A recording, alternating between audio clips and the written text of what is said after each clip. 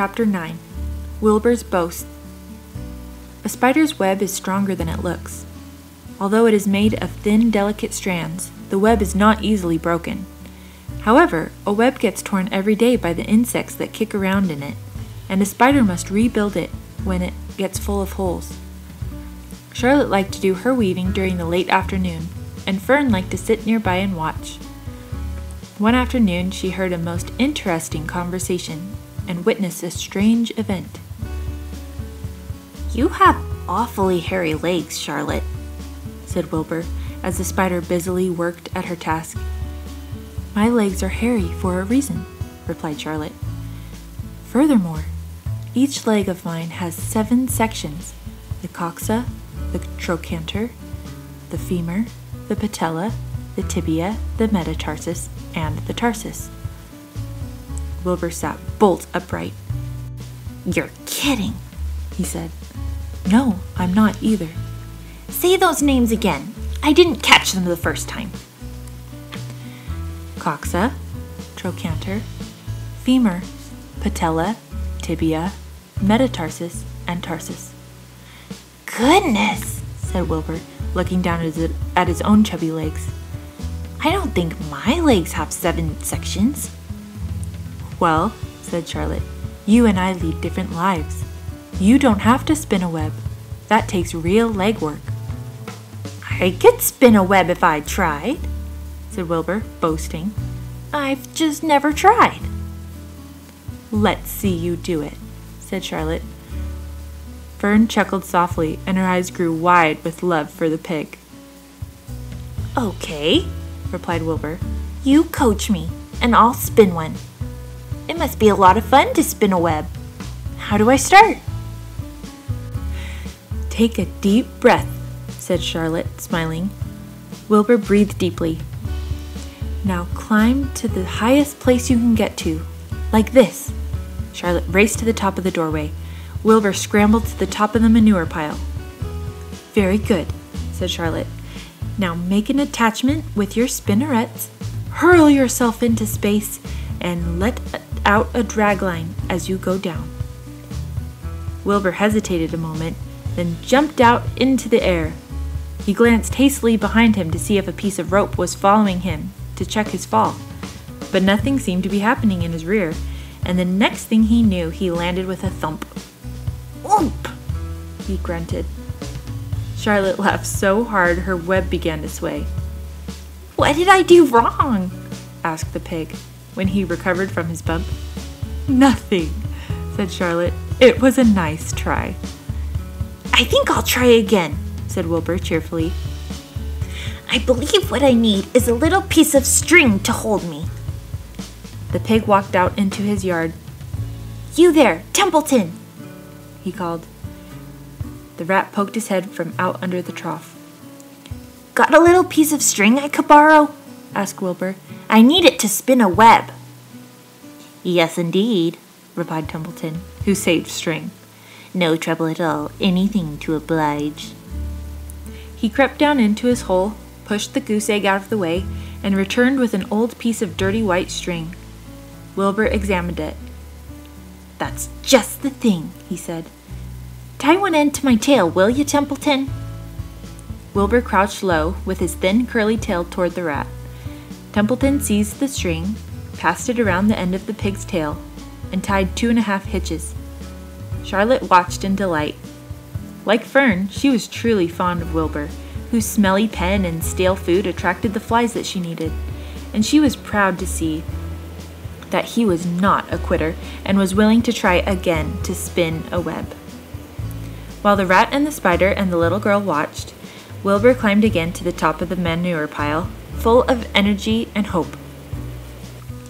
Everybody watch! he cried, and summoning all his strength, he threw himself into the air head first. The string trailed behind him. But as he had neglected to fasten the other end to anything, it didn't really do any good, and Wilbur landed with a thud, crashed and hurt. Tears came to his eyes. Templeton grinned. Charlotte just sat quietly. After a bit, she spoke. You can't spin a web, Wilbur. and I advise you to put the idea out of your mind. You lack two things needed for spinning a web. What are they? asked Wilbur sadly.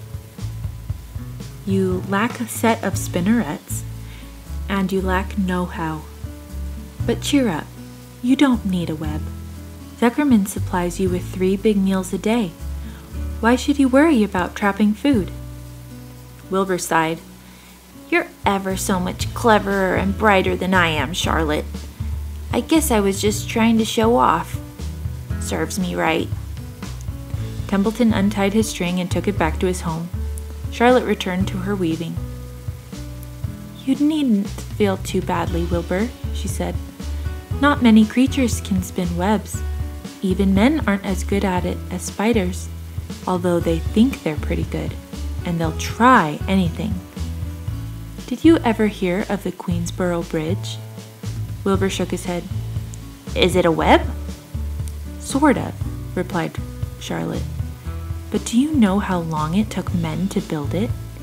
Eight whole years. My goodness, I would have starved to death waiting that long. I can make a web in a single evening. What do people catch on the Queensboro Bridge? Bugs? asked Wilbur. No, said Charlotte. They don't catch anything. They just keep trotting back and forth across the bridge, thinking there is something better on the other side. If they'd hang head down at the top of the thing and wait quietly, maybe something good would come along. But no. With men, it's rush, rush, rush every minute. I'm glad I'm a sedentary spider. What does sedentary mean? asked Wilbur. Means I sit still a good part of the time and don't go wandering all over creation. I know a good thing when I see it, and my web is a good thing. I stay put and wait for what comes. Gives me a chance to think. Well, I'm sort of sedentary myself, I guess, said the pig. I have to hang around here whether I want to or not. You know where I'd really like to be this evening? Where? In a forest, looking for beech nuts and truffles and delectable roots, pushing leaves aside and what with my wonderful strong nose, searching and sniffing along the ground, smelling, smelling, smelling. You smell just the way you are, remarked a lamb who had just walked in. I can smell you from here. You're the smelliest creature in the place. Wilbur hung his head. His eyes grew wet with tears. Charlotte noticed his embarrassment and she spoke sharply to the lamb.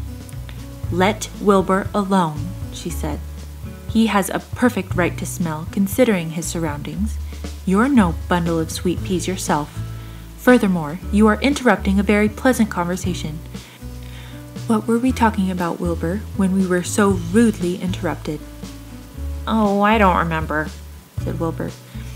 It doesn't make any difference. Let's not talk about it for a while, Charlotte. I'm getting sleepy. You go ahead and finish fixing your web, and I'll just lie here and watch you. It's a lovely evening.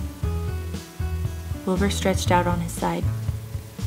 Twilight settled over Zuckerman's barn, and a feeling of peace.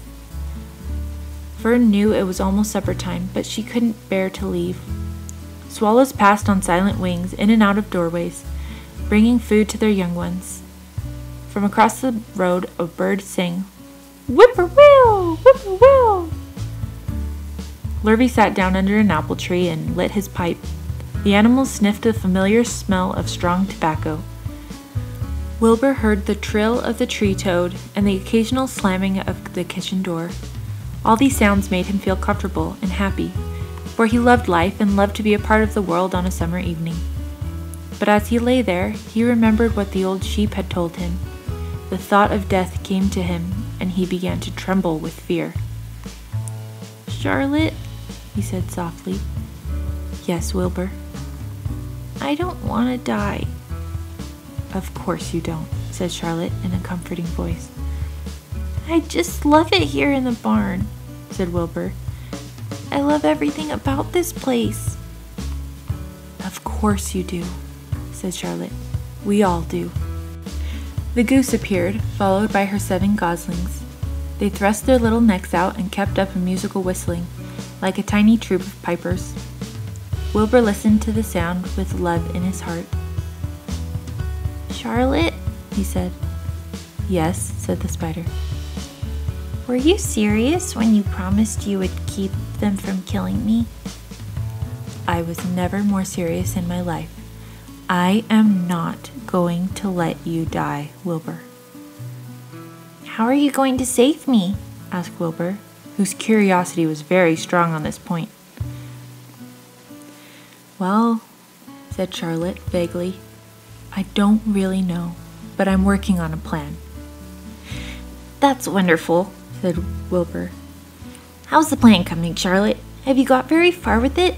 Is it coming along pretty well? Wilbur was trembling again, but Charlotte was cool and collected. Oh, it's coming all right, she said lightly. The plan is still in its early stages and hasn't completely shaped up yet, but I'm working on it. When do you work on it? begged Wilbur. When I'm hanging head down at the top of my web, that's when I do my thinking, because then all the blood is in my head. I'd be only too glad to help in any way I can. Oh, I'll work it out alone, said Charlotte. I can think better if I think alone. All right, said Wilbur. But don't fail to let me know if there's anything I can do to help, no matter how slight. Well, replied Charlotte, you must try to build yourself up. I want you to get plenty of sleep and stop worrying. Never hurry and never worry. Chew your food thoroughly and eat every bite of it. Except you must leave just enough for Templeton. Gain weight and stay well. That is the way you can help. Keep fit and don't lose your nerve. Do you think you understand? Yes, I understand, said Wilbur. Go along to bed then, said Charlotte. Sleep is important. Wilbur trotted over to the darkest corner of his pen and threw himself down. He closed his eyes in another minute he spoke. Charlotte, he said. Yes, Wilbur. May I go out to my trough to see if I left any of my supper? I think I left just a tiny bit of mashed potato. Very well, said Charlotte. But I want you in bed again without delay. Wilbur started to race out to his yard. Slowly, slowly, said Charlotte. Never hurry and never worry. Wilbur checked himself and crept slowly to his trough. He found a bit of potato, chewed it carefully, swallowed it, and walked back to bed. He closed his eyes and was silent for a while. Charlotte, he said in a whisper. Yes. May I get a drink of milk? I think there are a few drops of milk left in my trough. No, the trough is dry, and I want you to go to sleep. No more talking. Close your eyes and go to sleep. Wilbur shut his eyes. Fern got up from the stool and started for home, her mind full of everything she had seen and heard. Good night, Charlotte, said Wilbur. Good night, Wilbur. There was a pause. Good night, Charlotte. Good night, Wilbur. Good night. Good night.